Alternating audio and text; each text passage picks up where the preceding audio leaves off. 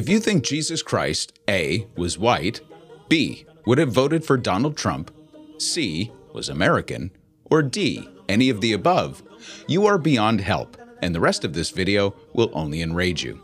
However, if you are at all interested in how white Christian nationalism has taken over the Republican Party and how incredibly wealthy Christian business people do terrible things in his name, then this video is for you.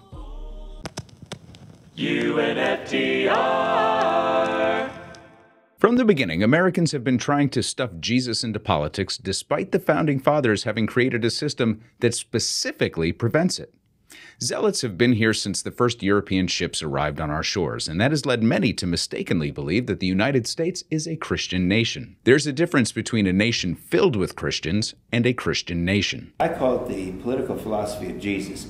Uh, something that had kind of been put together by Doug, at least this is my interpretation. Doug Coe, by the way, of the National Prayer Breakfast Movement and other things. Oh, yeah, yeah. Um, and it's all scripturally based. Uh, Acts nine fifteen. You know what did uh, Paul? Uh, Jesus say to Paul on the road to Damascus? Said, "Take my name, Jesus, to the kings."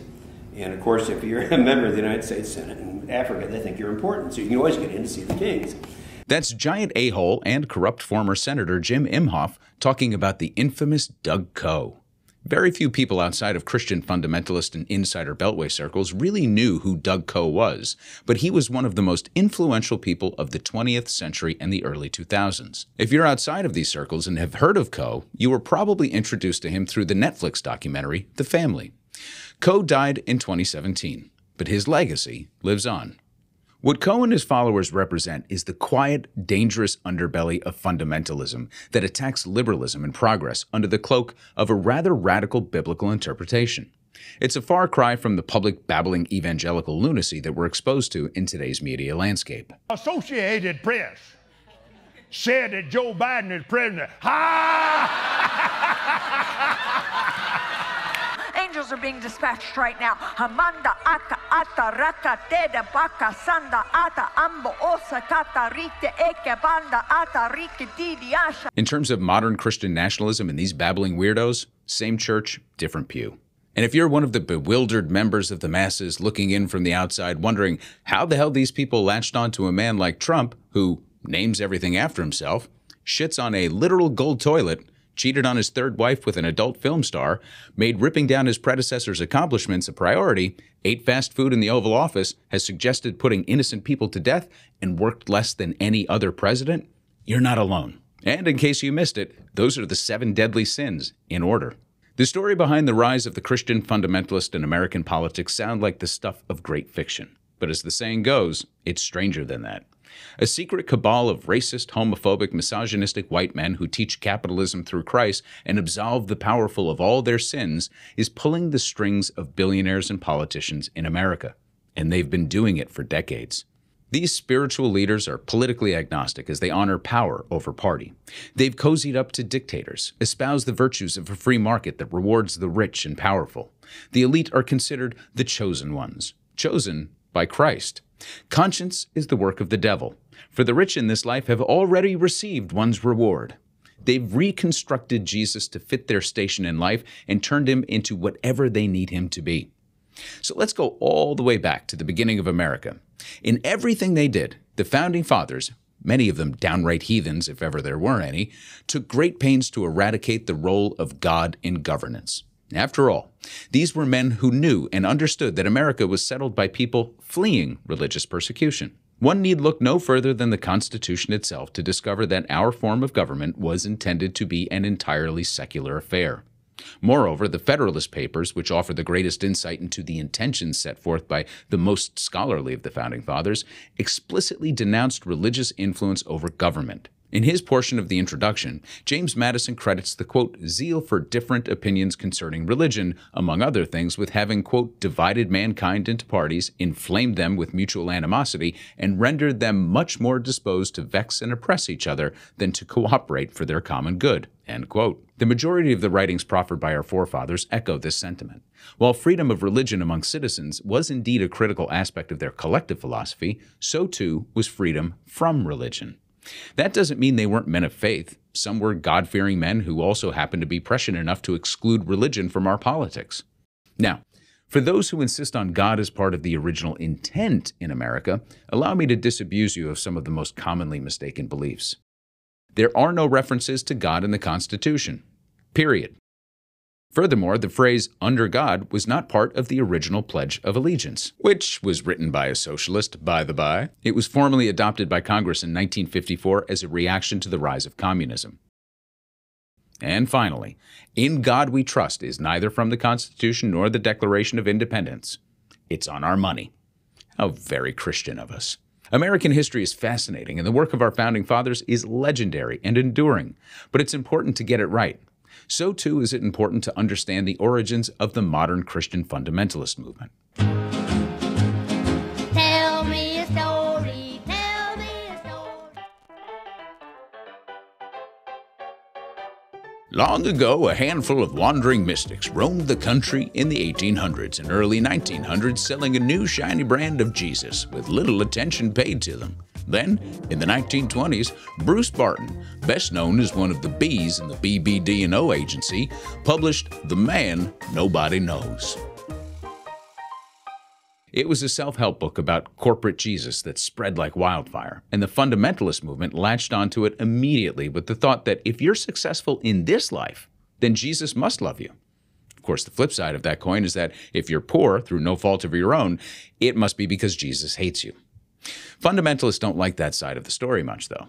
Barton's Jesus was the ultimate winner, the consummate salesman. The book was a pocket guide to winning with Christ that helped extricate Christianity from purely religious constraints and bring it to a wider audience as only a professional ad man could. That's right, the babbling nomadic Christian fundamentalists who evangelized throughout the United States were universally recognized as the bonkers people they were until they got a makeover by the Don Draper of the 1920s. Prior to the Great Depression, the evangelical set were more like blathering mystics than an influential political force. The mainstream transformation came when successful white Christian men who accumulated and maintained great wealth during this time were looking for absolution of the guilt they felt while their fellow countrymen fell upon hard times.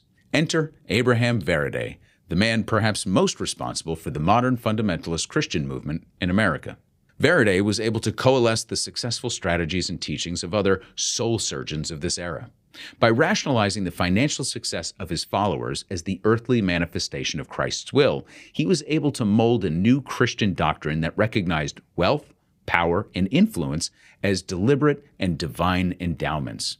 During the Great Depression, Vereide's organization began to take shape in Seattle with the creation of the New Order of Cincinnatus. The parallels between the New Order and the Republican Party today are undeniable. Like the Republican Party, the New Order cherished free market ideals and conservative morality and organized against taxes and big government. Vereide's followers railed against public works projects and anything related to Roosevelt's New Deal. They wanted smaller government, less oversight, and fewer taxes. Even the great ad man Barton went on to secure a seat in Congress under the slogan, Repeal a Law a Day. Vereide's organization was ultimately passed on to our protagonist of this episode, the enigmatic Doug Coe. Coe transformed it into one of the most influential and highly secretive organizations in the modern era. Nothing written, no videos, no meeting notes, only in person meetings and pledges. The only public recognition of the group known today simply as the Family is the National Prayer Breakfast held every year in Washington, where political and business leaders assemble to pay tribute to Coe's cabal. Most of what transpired beyond the breakfast remained a complete mystery until Jeff Sharlet, a reporter and expert on religion, stumbled upon Coe's secret world, which he unraveled in his 2008 book titled The Family The Secret Fundamentalism at the Heart of American Power, and his 2010 follow up, C Street The Fundamentalist Threat to American Democracy. It was Sharlet's work that was adapted for Netflix and helped bring the awareness of the family to millions of homes. In terms of influence, most modern American leaders have been massively influenced by the conservative wing of Christianity for more than a century. We've invaded countries and murdered in the name of Jesus Christ. The Clintons and the Obamas attended the National Prayer Breakfast while giving the authorization to destroy nations abroad to secure their natural resources. When we invaded Iraq, President George W. Bush called it a crusade. The American public didn't blink, but the rest of the world heard those words and understood what he meant. We had state sponsored missions to African nations to prop up dictatorships so long as they spread the word of Christ and murdered homosexuals. Trump's litmus test for Supreme Court nominees was their presumed views on abortion. And this brings us to the idea that we should cut taxes for the rich and end welfare programs for the poor. How could that possibly jive with the interpretation of the word of Jesus? The entire premise of this doctrine is that this life, not the next one, this one, is salvation. That if you're a good person, Jesus wouldn't let you suffer in this life. So if you're wealthy, it's not a test for the afterlife, it means you've already been chosen. In this small absolution, you have the entire rationale behind the prosperity doctrine. What Doug Coe would teach our leaders is that they didn't achieve wealth and comfort in this life as a test, they achieved it as a reward. In fact, it's their responsibility to continue acquiring power, wealth, and influence in order to maintain the spiritual order and spread the gospel of Jesus Christ.